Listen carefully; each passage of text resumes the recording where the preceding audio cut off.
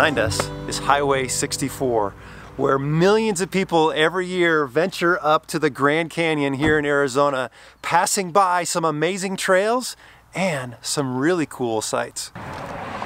So we're on our way to Overland Expo in Colorado and we stopped here in Arizona for the night and down that trail that we're about to head is a very cool historic point of interest where several famous people have been. So we're gonna go venture down this trail, check it out, and go find a cool camp spot. And it's gonna be an amazing next couple days. I'm excited, I can't wait, because we're gonna meet up with some very good friends and their sweet little sidekick. That's right. All right, you ready? Yep. Let's go. Alrighty. Regena and I have been looking forward to this trip for months, and we can't wait to get back up in the mountains in Colorado. But it will take us a couple days and many miles before we get there. Day one has us starting off in the Kaibab National Forest, which is just south of the Grand Canyon. This area is filled with forest roads, dispersed camping sites, wildlife, and some very interesting history. This area is one I picked because it happens to be about halfway between our home in San Diego, where we left this morning, and the place we are hoping to camp in Colorado tomorrow before meeting up with our friends and heading for the mountains the following day. Now, we were only a short way down the trail, and I made a slight navigation error, and well, this brought something to light that we are going to have to work on on this trip. All right, I think we want to turn down this trail here on the left, huh? You sure? Yeah. Okay. Well, there's a possible campsite. Oh, no, wait. Sorry. Wrong turn. You're gonna have to back it out. Back it up. Okay, hon, uh, go ahead and back it up. Are you sure about this? Yeah, well, I mean, come on, you gotta learn. It's a little different than the Navy. See one, do one, teach one. But okay, here goes. So Regena needs to work on her backing up the trailer. We'll see how this goes. Whoa, whoa, slower, slower. Straighten it out, turn the other way, turn the other way. Hey, Crank the wheel the other way. You're good, you're not gonna hit anything yet.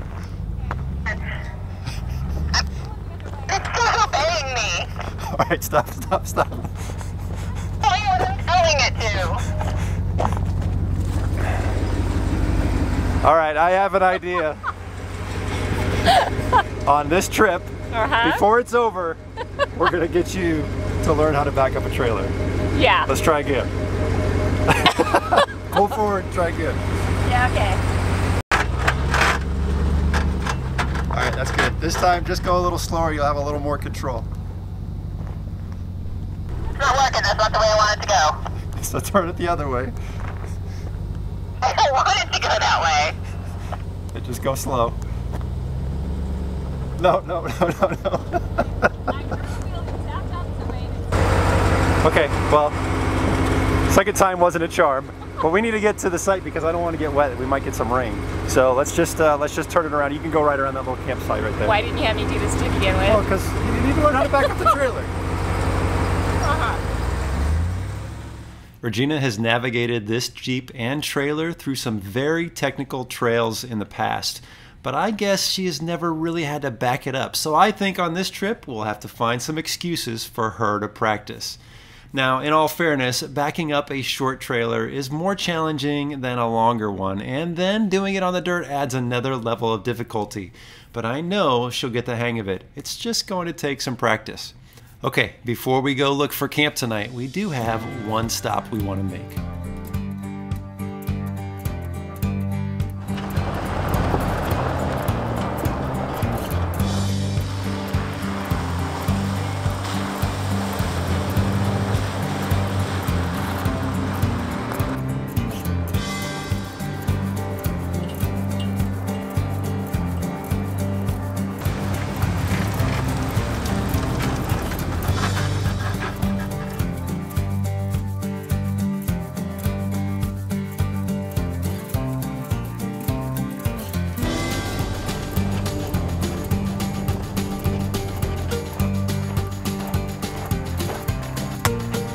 You it. You gotta catch it before it turns too sharp on you. Oh, you were doing so good.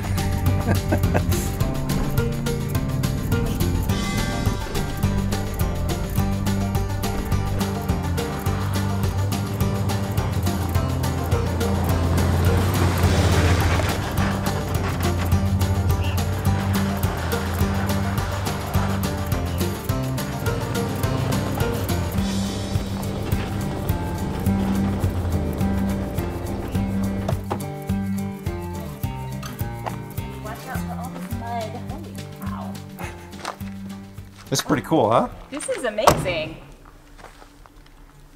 It's sad that it's in ruins, but I was reading that it was built in 1927 by a former World War I Army pilot. I think his name was Van Zant. And it was visited, I believe, the year after it was built by Charles Lindbergh. And I think Amelia Earhart was here as well. I don't think they flew out of it, but I think they definitely visited. That's super cool. This site was once hustling and bustling with tourists looking to climb aboard a plane to get a spectacular bird's eye view of the Grand Canyon. It's easy to imagine all the prop planes that were once housed here in this old hangar when they were new and shiny. Close your eyes and you can almost hear the sounds of turning wrenches, engines firing up, and the smell of fuel and oil. Today, it's just an old abandoned building with decaying wood, rusty old sheet metal, and lingering memories of what used to be. A pretty cool historic stop for the day. So this was pretty cool, and I'm wearing a fitting shirt, I think. You're welcome. yes, you are. All right, we're gonna go find camp, but first, there's a nice big flat spot. You want to try backing up a couple times? I don't know, maybe it's getting dark. well, we were just getting ready to roll out of here, and lo and behold, this Bronco shows up, and it's got KC lights, and I know these guys. What's up, guys? Hey. What are you guys doing?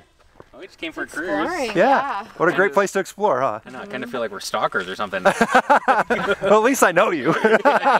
awesome. cool, YouTubers over here. Yeah. Oh, Well- wait, I know that one. the cool thing is, guys, they just gave us some intel on a really cool camp spot that's way over on that mountain. don't I tell anybody. think we're gonna go check it out. yeah, we won't give the details away. Yeah. Deets.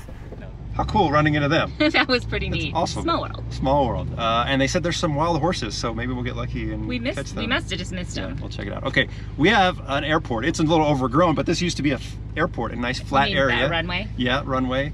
Uh, so why don't we take a minute since it's nice and open here, and I'm going to show you how to back up, and that way maybe watching the steering wheel and watching you know the trailer. I've watched you do this and it hasn't Yeah, but now you can be more focused on it.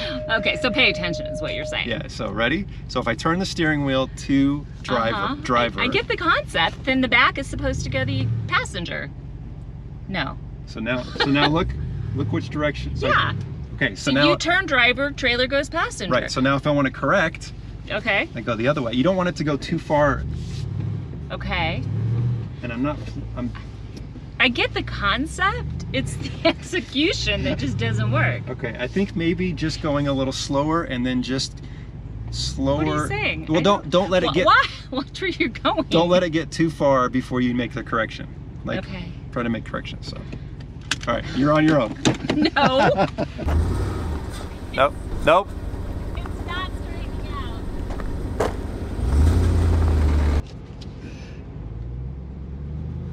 It's not cooperating. I'm telling you, it hates me.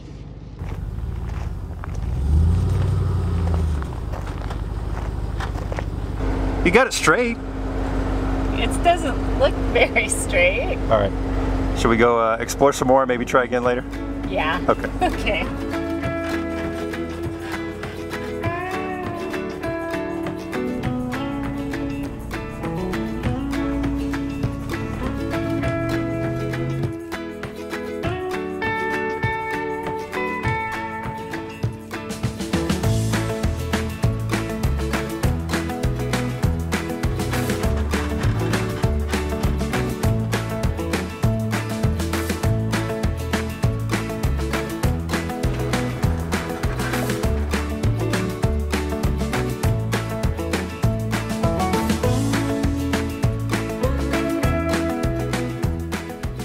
Way back out through the gate, we came across several horses just off the trail.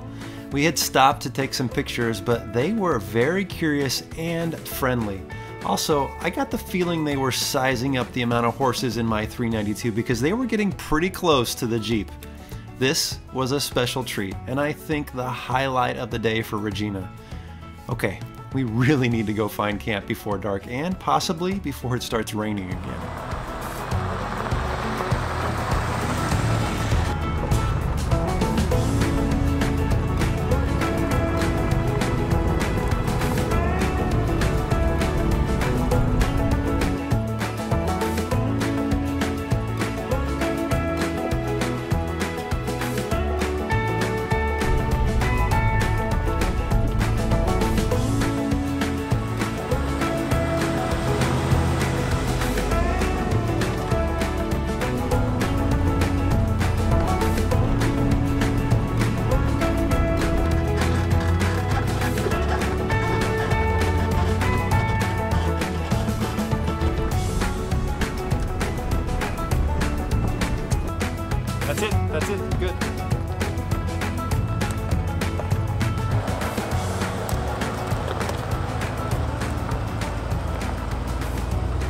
I think we found camp for night. Nice level spot.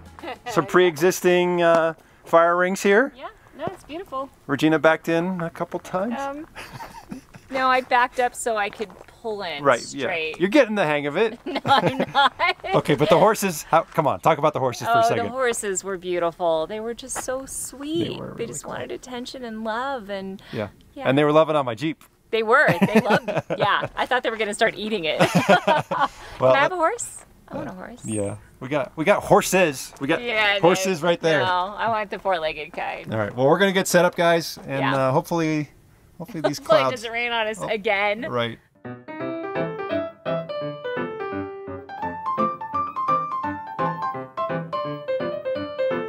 Not a bad camp spot. It'll do. It's flat. We're out of the wind, and Maybe the rain. We Maybe might- we might it stay seems dry. To be chasing us. yeah, we'll see what happens. What's for dinner? Uh, I'm making the sausage muffins that I made before. Good. I like those. When we were on the Klamath River in Yeah, Oregon. Yeah, yeah, that so breakfast for dinner. Yeah. Something easy. Uh, it was cool running into Taylor and Natalie. Natalie, yeah. Yeah. Uh, but we told folks at the beginning of the video that we are gonna meet up with some people. But Yeah. Those are not the ones. No, we're they were a nice surprise. They were a nice surprise. It was totally unplanned. It was just cool to run into them. But we uh, have some other friends. We have some other friends. Tomorrow we're gonna go hit a trail in Colorado, and then the next day, We're gonna be in Colorado tomorrow. right? tomorrow, yeah, Oh. and then the next day, that's when we're gonna meet up with some. I think we should keep the surprise. But I'll bet yeah. a lot of folks are gonna know. But they're wonderful. They're awesome people. Yeah, and I think a lot of you guys are gonna know who they are. So it's gonna be a good night. What I love most about our Patriot Campers trailer is that my kitchen is outside and I can enjoy the pretty views, fresh air, and great company all while preparing our meals. For tonight's dinner, I made sausage and cheese breakfast muffins, which I also made on our recent trip to Oregon. Breakfast for dinner just tastes so much better than breakfast for breakfast, although this might be because, well, I'm not a morning person. What I love about this recipe is that it's quick and easy after a long day on the trail. It has just a few basic ingredients breakfast sausage, biscuit mix, condensed soup, cheese, and buttermilk. If you want to give it a try, you can find it on the blog at trailrecon.com. Those smell good, huh? They done? I Think so. Oh. Hot.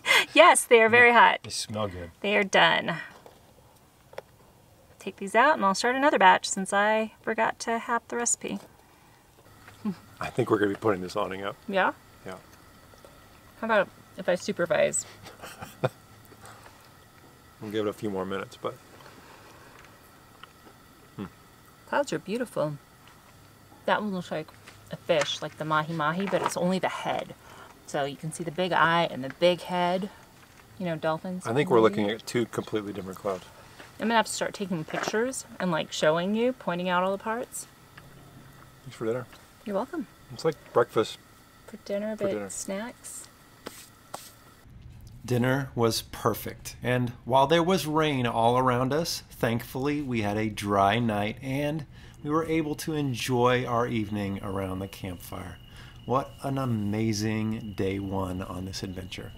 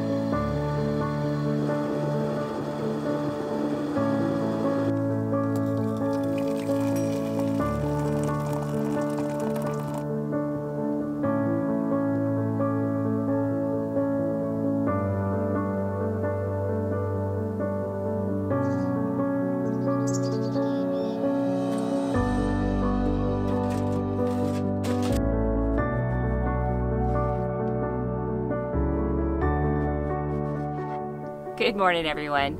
We just finished packing up camp and having a really quick breakfast of some banana bread, a family favorite that I made in advance. We're about to hit the road for southwest Colorado, where tomorrow we're going to meet up with some really good friends. And I have two goals for today one, that we find a really great campsite tonight, and two, that we just go straight and I don't have to back up anywhere. Um, it's going to be a lot of road miles today, so we have to get going.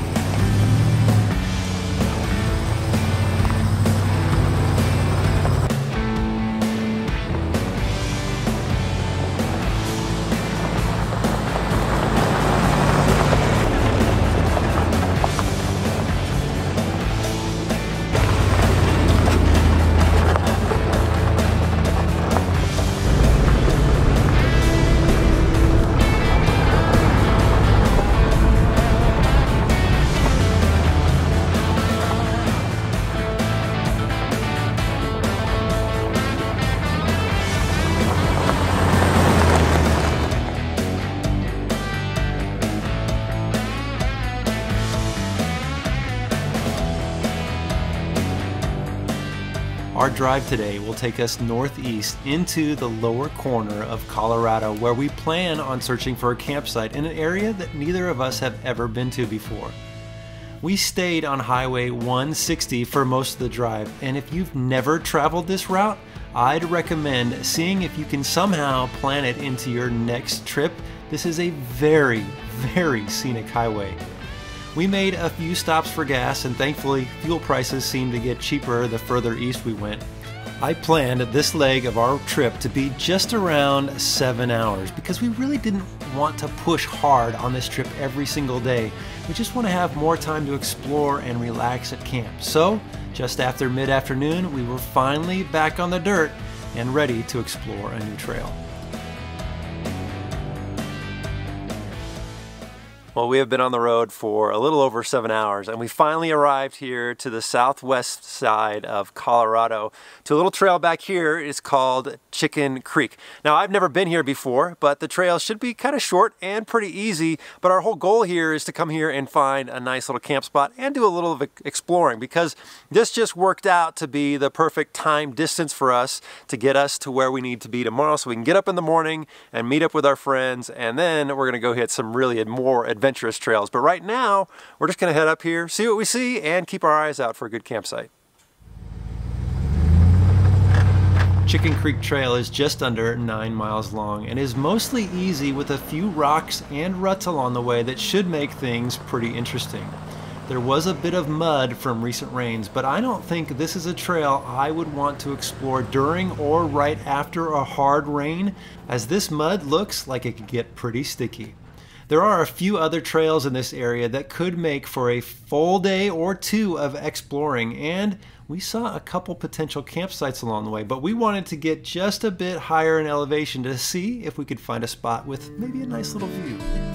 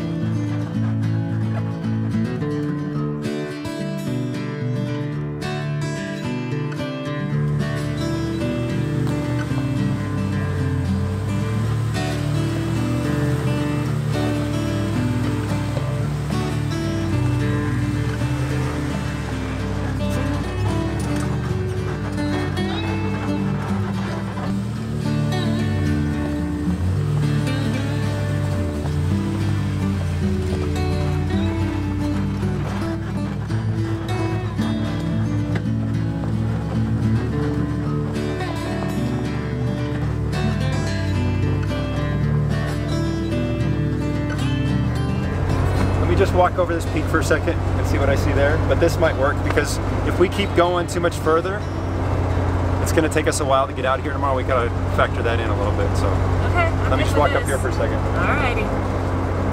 Okay, I think the spot's going to work for us. but I think we need to back the trailer in. Oh, So what I want you to do is pull forward, and you're gonna have to turn the trailer back to get it Maybe. back there. Yep, gotta give it a go. no, I think you should do this. You've been practicing. Come on. oh yeah, you've seen how my practice is gone. You got it. I don't? I'm not a good teacher, guys. Definitely not a good teacher.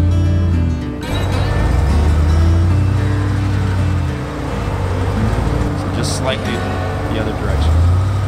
There.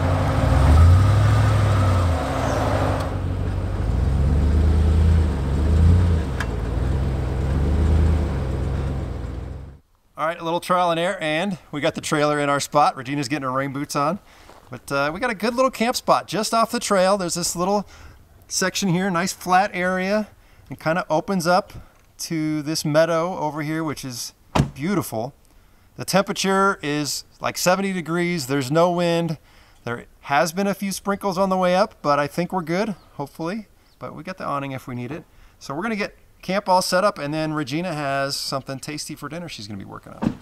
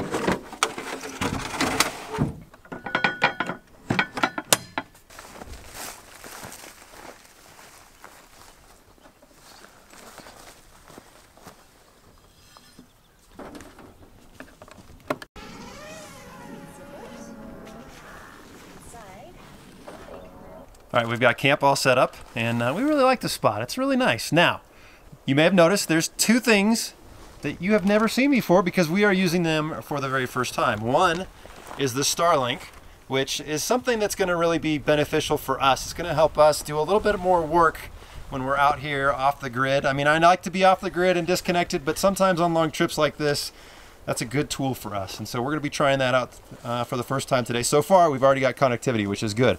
The other thing is I know Regena's excited about. Uh-huh. What do you got? I have my lovely new Blackstone grill that I have been bugging you about You forever and ever. Yep. What are you cooking on it tonight for the first time? I'm gonna make some homemade panko crusted chicken tenders and some sauteed green beans with bacon. Okay. Well, I'm looking forward to seeing how good the Blackstone works because that thing is a Fingers little bulky. crossed. I've It's never used it before. Your dinner could be burnt, so Oh, let's hope not. you never know. I travel with a large softbox that functions as my pantry with all my dried goods, and a small softbox that has all of my spices for pretty much anything I could want to cook. My overpacking has actually come in handy more than once, including the time friends forgot taco seasoning and we were able to make our own from all the different spices I had with me. I take inventory of everything before we hit the road and restock and add items as needed. I was pretty excited to give my new Blackstone a whirl, so I chose to cook up a few relatively easy things sauteed fresh green beans and bacon, along with panko crusted chicken nuggets. First, I prep the green beans and dice the bacon. This is a really simple and delicious side dish, and not only is everything better with bacon, I figured the grease would help season the new grill top and add some flavor to the nuggets. I set those aside and seasoned up the buttermilk with a variety of spices, including paprika, garlic powder, salt, and pepper. Next, I diced the chicken tenderloins into bite sized pieces and let them soak while I prepared the batter, an egg dip, and the panko and flour mixture. This may have been a little ambitious for my first go at the Blackstone and for camp cooking, but hey, nothing ventured, nothing gained. And I've got to say, I'm pretty happy with how everything turned out. The crispy bacon and tender green beans were yummy, and the chicken nuggets were juicy inside and crunchy outside. There was only one problem.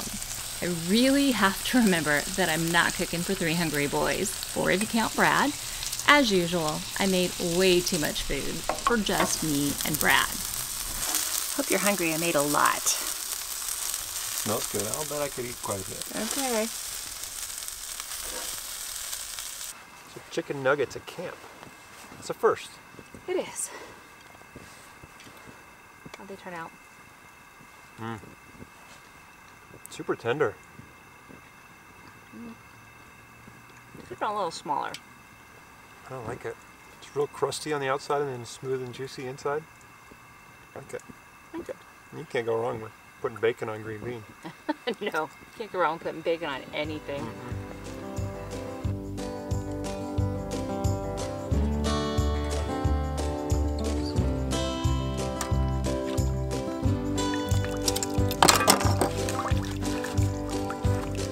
Dinner was fantastic. And some of those chicken nuggets got soaked up in some of that bacon grease, and oh, those were just like over the top. Dinner was awesome. Uh, I've got dish duty because that's how it works. And uh, we have just had a beautiful night. It's so calm, and the sky was so red there for a few minutes. It's just beautiful. So we're gonna hang out tonight, relax, get a good night's rest, and we have a early start tomorrow because we need to get off the trail and meet up with our friends for some more exploring. And I gotta say, coming up this trail, I expected it just to be a plain dirt road, and it was fun just to have some of those rocks and a couple ruts coming up here. So this is more than just an easy dirt road. We didn't go all the way to the end, but maybe next time we're out here, we'll make a full round trip of it. But tomorrow morning, we just gotta hightail it out of here and, uh, and go meet up with our buddies. It's gonna be fun. On the next leg of this adventure, we continue our trek deeper into the Colorado backcountry, meet up with our good friends Matt and Kara, and head for the mountains. We find some fun trails that none of us have ever explored before, get really lucky with finding some epic camping spots, and try something a little different for dinner. Be sure to turn on your notifications because you won't want to miss the next video. Thanks for watching.